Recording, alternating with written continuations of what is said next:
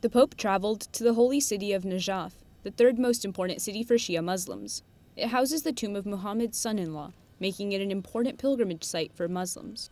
Pope Francis was welcomed by authorities and children who gave him white and yellow roses, the colors of the Vatican flag.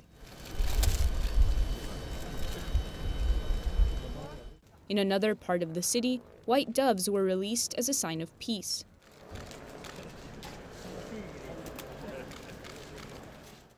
After a drive through the narrow streets of Najaf, the Pope reached the residence of Grand Ayatollah Ali al Sistani, leader of the Iraqi Shia community, which makes up more than 60% of the population.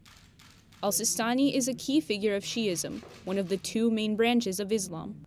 The 45 minute meeting was held in the religious leader's modest home, where he welcomes people from all walks of life.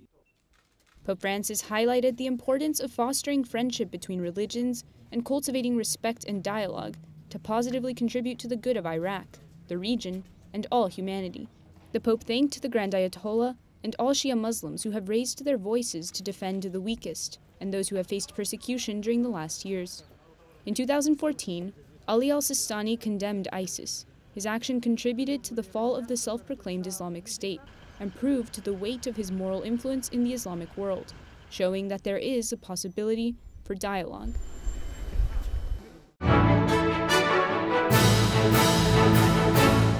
If you're watching Currents News on YouTube, be sure to hit the subscribe button and click on the bell to get updates to all of our newest content because we are putting your faith in the news.